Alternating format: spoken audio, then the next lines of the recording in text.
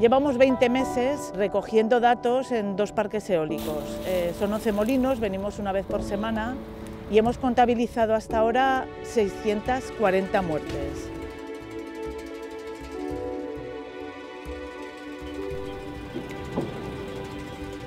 Lo malo de todo esto es que eh, si están criando, si muere un ejemplar o un adulto o los dos inclusive, los pollos también mueren y eso no se contabiliza.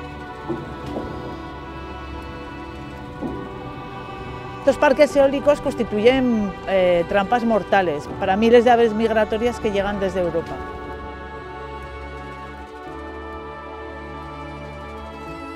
Las empresas eólicas tienen la obligación de contabilizar estas muertes, pero estamos comprobando que hay una serie de irregularidades y bueno, nuestros datos no coinciden con los de las empresas.